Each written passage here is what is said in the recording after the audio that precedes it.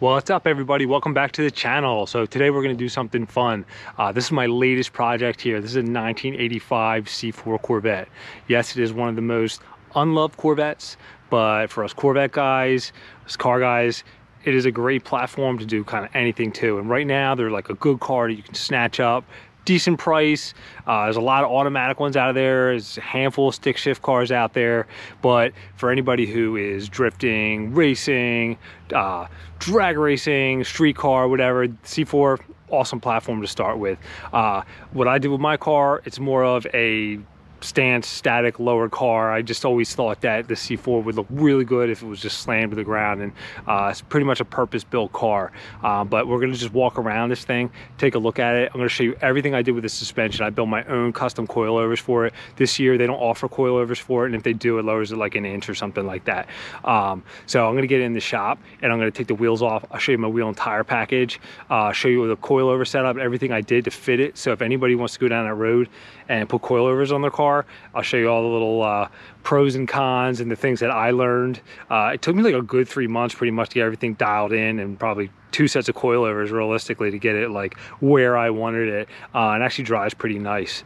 Um, so yeah, so this is it, 1985. It is a four plus three uh, Doug Nash manual transmission with a Tuned Port 350. Uh, I think it's like a whopping 240 horsepower. Um, the car's only got 68,000 miles. Um, it is, you know, a couple owner, it's sat for years or whatever.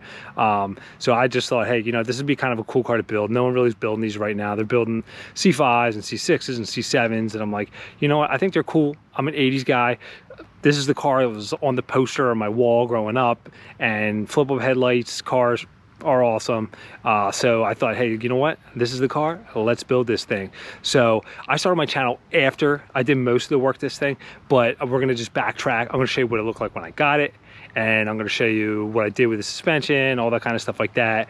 Let's go take a walk around this thing show you everything i got going on with it all right, so here we go. I'm just gonna give a quick little walk around here. I'm just trying to give you an idea how low this thing is. It's kind of hard to tell in the video. Um, I mean, I guess you can kind of get the idea because the tires are all tucked in the wheel well like that. But I think the roof's probably like 40, 41 inches off the ground, something like that. It's kind of hard to tell The car has been painted. It's got like a horrible Maaco single stage paint job on it. Um, but I am gonna probably have that painted within the year or so. But the body's straight on the thing. Like I said, with the low miles really helped out with the condition of the car. The interior was completely shot when I got it. Just wanna give you a little closer shot there. I mean, it took me a long time just to get that dialed in and there's no rubbing. I mean, the car bottoms out the way the exhaust is set up on it. We'll get underneath here, take a look. You can see that. I mean, maybe it's like a half of an inch off the ground. So smooth roads, you're perfect. Just forget like any kind of speed bump or like pulling into an aggressive parking area because that's just out of the question at this point. But like I said, it's a purpose-built car. I just take it out here and there for now could always raise it back up if I have to. But yeah, as you can see, everything works on the car too. Power seat, uh, the headlights still work. I had to put the new uh, bulbs in the gauge cluster, but that was uh, not a bad thing. But everything works, all the electronics and stuff like that, because it's kind of known for these things. You know, it's got normal wear on the door panels. All the weather strip is shot on the car, but we're going to replace that after we get it painted and there's like a single crack on the dashboard up there. But brand new steering wheel new leather shift knob and I'm putting like an aftermarket CD player in it for now. I'm gonna actually have the Bose head unit with a tape player set out and have that repaired just so I can keep the original tape player in there. I know it's totally an 80s thing. But that's it. And then I redid the seats are brand new black leather. The car had like perforated Gray leather seats. They were completely falling apart when I got it just from sitting. So I replaced both of those. Off the hood.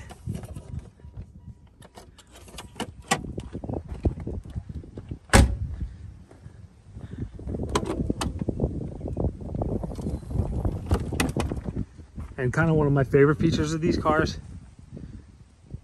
so when you are working on it, super easy to get to. And there it is. Even though it's only making like 230 or 240 horsepower, Tuned Port's a really reliable, kind of just good overall engine. I did end up putting an aluminum radiator in it because the original one, as you can believe it, um, was leaking. That is it. But yeah, it's all original. It's got all the, nothing's really even changed on it, which is kind of cool. I mean, for doing a build, like you get somebody else's project, God knows what you're going to get into with that. So I wanted something kind of original. Some old guy had it just sitting in his garage. You can kind of see my coil over a little bit, but we'll get into that.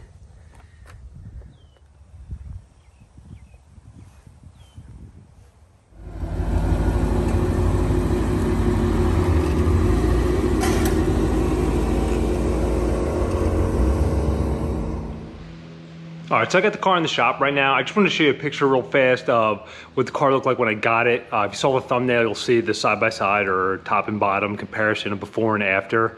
Uh, there was 1.2, maybe six, seven months ago. I had black uh, Corvette ZR1 wheels on it with uh, like Toyo tires, the white lettering on it. Uh, I was going for that look for a little bit, uh, but I kind of felt like it was like overdone a little bit. The ZR1 wheels, it was like you could get the ZR1 package car at that time, and a lot of people would just take those wheels and put them on regular C4s. So I just didn't want to look like every other C4 on the road. Um, so I just wanted to show you what those pictures look like. So we're gonna get this thing jacked up, uh, take the wheels off, and then start looking at everything.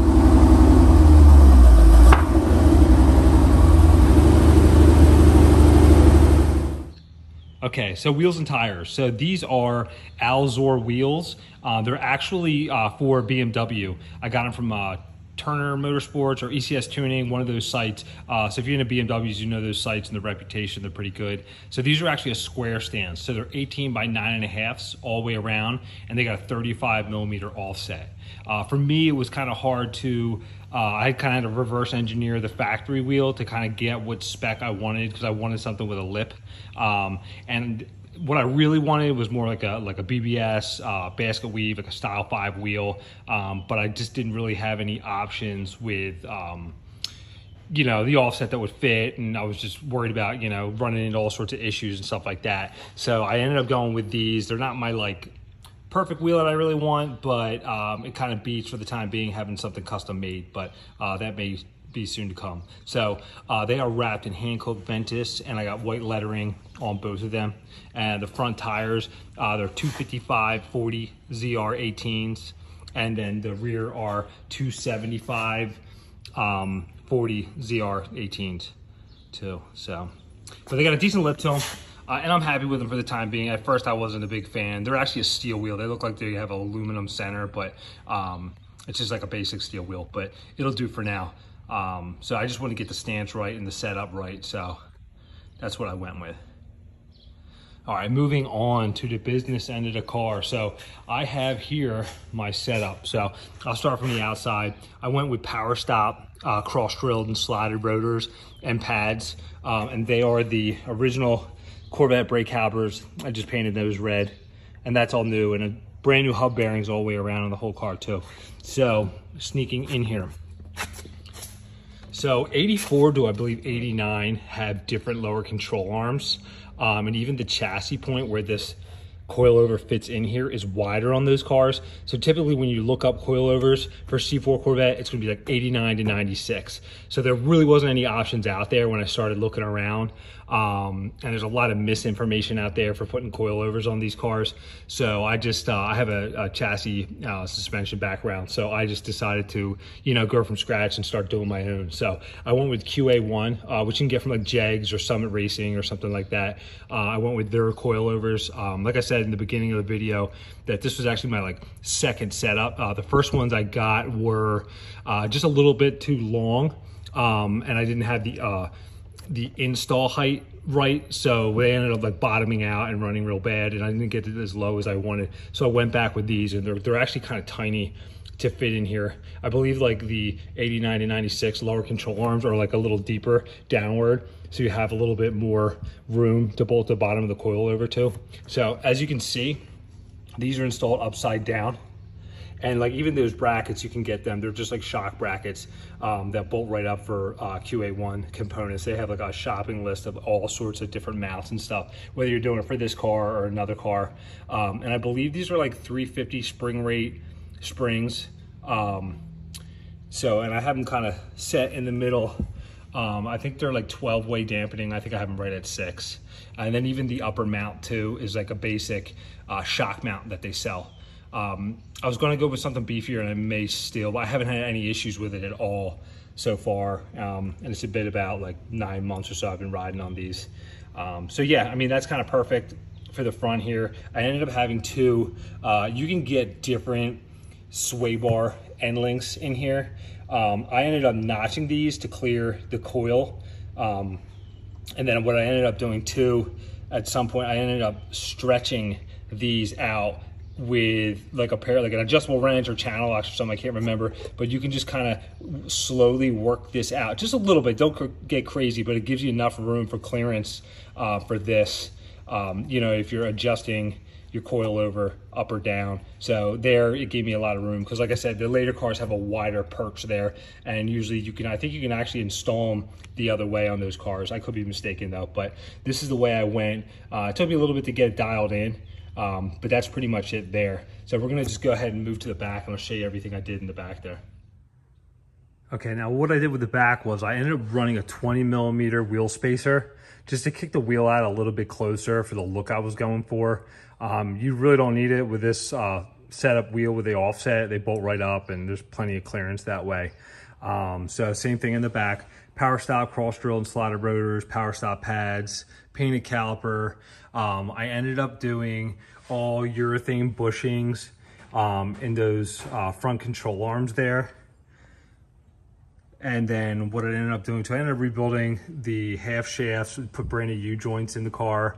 Um, so as you can see, there's my coil over there and that's also installed upside down.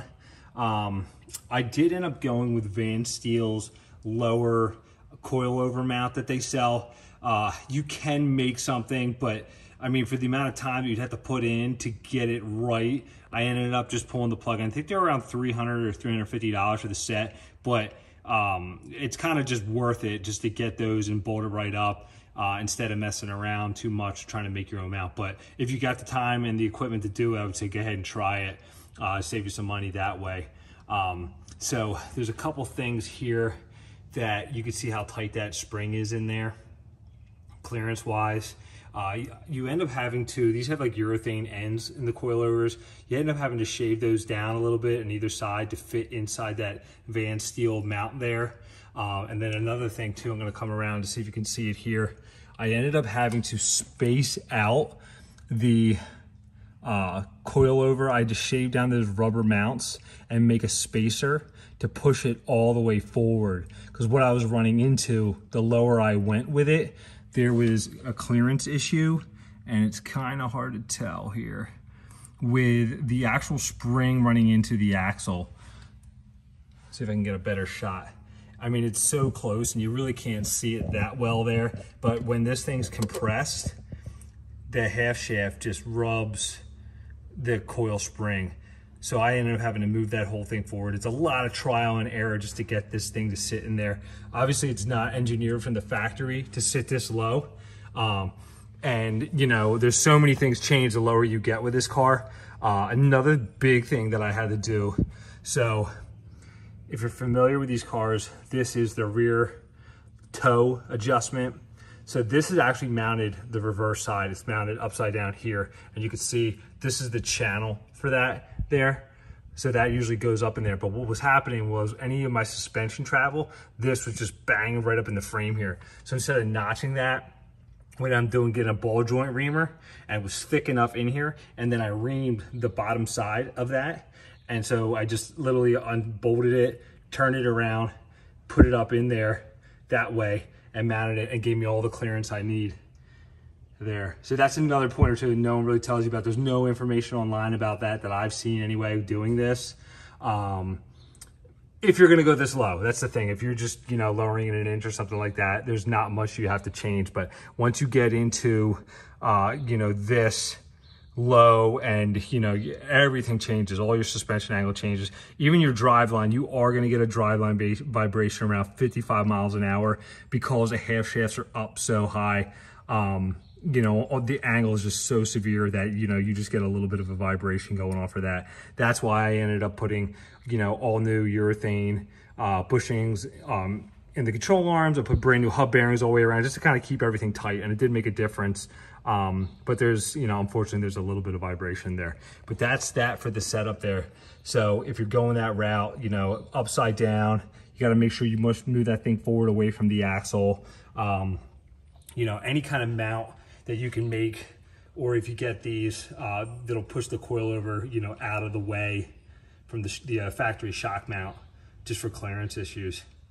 And then like one more time too, just to show you that rear steering you know, just so you're not bottoming out and smacking the frame in there. So that's one thing that I found. So that is my suspension setup. And as far as like any modification or grinding or cutting that I had to do, I did very minimal, mainly because I wasn't trying to cut the car up too much, in case I decide to uh, change the power plant, make it fast, lift it up a little bit, uh, so it handles and stuff like that. Uh, so the only thing you have to do is grind a little bit of the knuckle to get the Van Steel um, bracket in there, which isn't the end of the world. Um, you just use your little angle grinder and fit that in there. Uh, that didn't take much time at all. Um, another thing was too, if you can look in here, I switched the bolt and nut around on the lower control arm. So the nut comes out further than the head of the bolt. So that doesn't have to hit the spring. And I ended up having to like, just cut a little bit of the bolt down, which isn't the end of the world. Uh, there's a Loctite everything back in.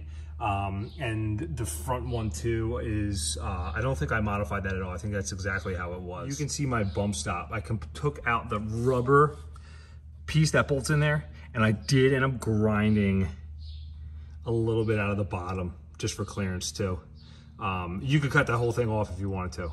Uh, but then, I mean, you're still gonna, you know, hit when it goes a little closer to, but that was enough to, um, you know, give me enough clearance without bottoming out just while I'm driving. And then right up in here, I just trimmed a little bit out of the wheel well where it was rubbing a little bit. But other than that, you know, I ended up like cambering everything in and just kind of dialing it in so it was close to the wheel well. Um, but other than that, it's pretty much easy. It's all there. All the original stuff is there, just slightly modified a little bit.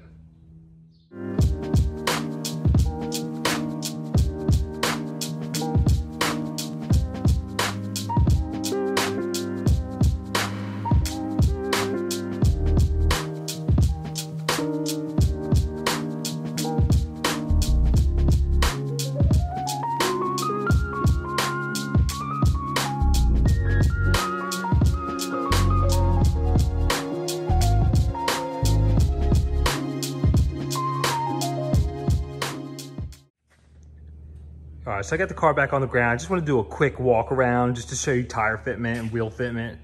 It's kind of really hard to tell here, but I mean, it's pretty tight in there. It took a while to get it, and I have everything just cambered in just a little bit. I forget what the degrees are offhand, but it's tucked in there nicely. Same with the front.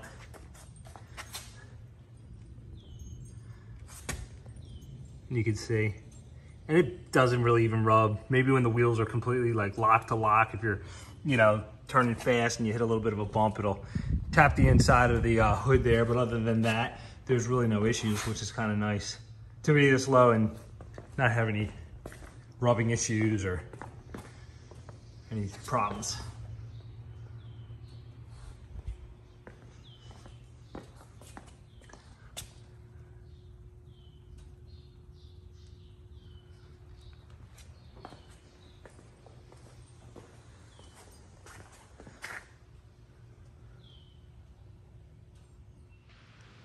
All right, so that about does it for today's video. So if you're into C4s or into slam cars, uh, follow us, uh, see what's going on with the rest of the stuff I got lined up for the C4 here. Uh, like the video if you enjoyed it, subscribe, watch what's going on. I'm gonna do a series over there, that blue Corvette in the back too, uh, and a bunch of other things I got going on with some of my other cars too.